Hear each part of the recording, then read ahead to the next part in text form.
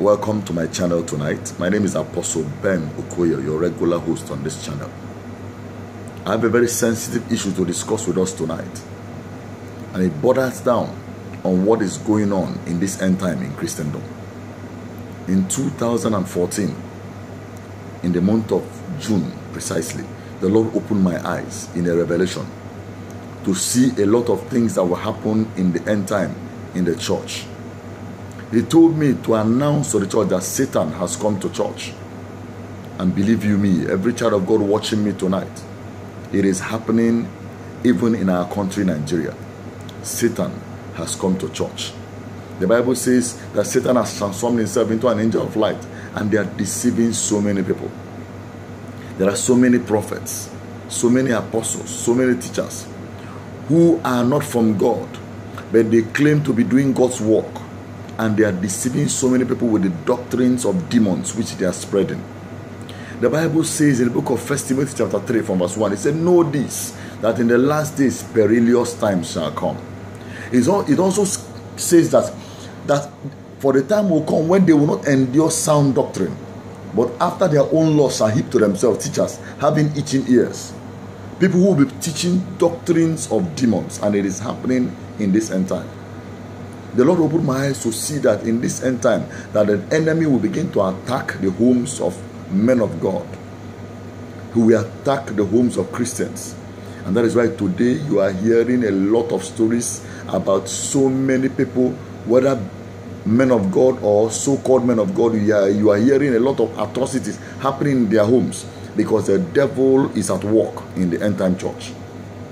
Now, what grieves Jesus more is that most of believers who are supposed to be ready, who are supposed to be on ground waiting for his coming, who are supposed to be watchful, are sleeping. Child of God, hear me tonight. When last did you take time to pray? When last did you take time to fast? When last did you take time to seek the face of God? When last did you really, really take time to pray? Today, social media, the internet has taken the place of Jesus in our lives.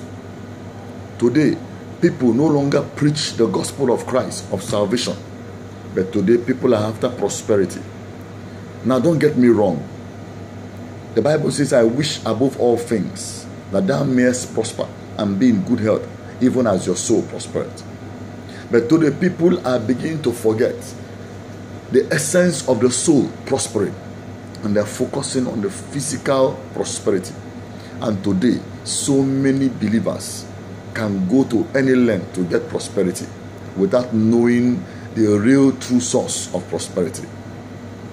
Today, so many things are happening in Christendom, and preachers of the end time are not helping matters.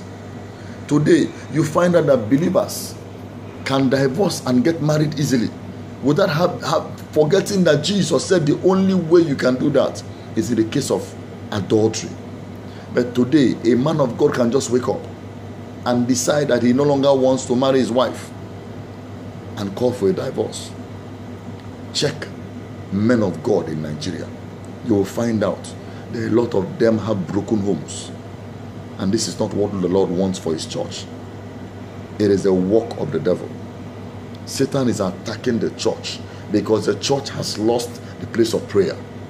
The church is now focusing on other things, forgetting that prayer is the mighty weapon that the Lord has deposited in our care to be able to deal with the kingdom of darkness. Remember, the Bible says that we wrestle not against flesh and blood, but against principalities, powers, rulers of darkness of this world, spiritual hosts of wickedness in high places.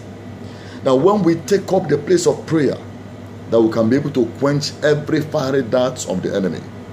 But today, when you go to the church, the word of God is watered down because there is no longer power on, from the pulpit, because there is no longer holiness from the pulpit, because the pulpit has lost the eternal sacred power that Jesus gave when he was living. He said, I give unto you power to tread upon serpents and upon scorpions and upon the powers of the enemy, and nothing shall by any means hurt you. Today, believers do not longer want to go to their knees, on their knees, and ask God for power. They think that God no longer gives power. Right now, what we see is voodoo. What we see is magic. What we see is hypnotism. And many believers have been deceived. The Bible says that in the last days, false prophets shall arise and they shall deceive many that if even are possible, they will deceive the very elect. That is what is happening now in Nigeria as I speak. All over the world, they are raising different kind of prophets. Go to South Africa. A lot of them are there. They preach the gospel. They have mega churches. But the Spirit of God is not there. Come to Nigeria. You have a lot of them with titles bishops, prophets, apostles but yet the Spirit of God is not in them. If you check their lives, the Bible says, test every, every spirit to know the one that is of God. If you test their life, if you check their spirit, you find out that the fruits they bear do not show the fruits that a child of God, a genuine man of God, should bear. I want everyone listening to me tonight to understand that in this end time, we need to be very, very careful. Firstly, you need to be very careful who you go to for prayers you need to be careful who lays his hand on you.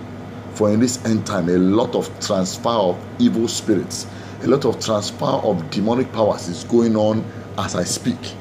A lot of people have lost it, even believers. Child of God, hear me tonight. God is calling for a turnaround. God wants men and women who will join his end time army and put the end of the enemy's reign and make the devil to lose his reign over the church. God is looking for young, vibrant men, young, vibrant women who are ready to take the bull by the horn. Who will say, like Esther, if I perish, I perish. Who will go down on their knees and pray and say, Lord, we need a revival in the end time church. The church has lost its power. Today we are chasing after shadows. That is why we can be pushed around with all manner of doctrines that is why people are beginning to follow magicians instead of following the true men of God. As many of you that are watching me tonight, the Lord said I should tell you that you should be very, very careful. That Satan has come to church. And this particular satanic manipulations that they are using is high tech. It will take a child of God with high spirit of in fact, a child of God that can be able to detect the powers of darkness, to be able to detect what is going on. It will take you to be highly sensitive in the spirit, to be able to know how these people operate. They have gone ballistic. Right now, you cannot detect between a man of God, a true man of God, and an apostle of darkness. Why? Because we have lost it because we no longer have the spirit of discernment. In the time of old, the apostles were able to discern. But today, instead of us having to go to Jesus, go to the Holy Spirit to give us power, we are rushing to spirit powers, to spiritism, to, to people who practice occultism. The Lord said, I should tell you tonight, hearing my voice, that it's time to brace up. It is time to wake up. Child of God, it is time to wake up. It is not all about the church, it's about you. Salvation is a personal thing. When you receive Jesus, He saves you. And when He saves you, He saves you to save others. As many of you watching me tonight that have the call of God on your life, that are still sitting down, you are waiting. It is time to move into the field. The harvest is indeed plenty, but the laborers are few.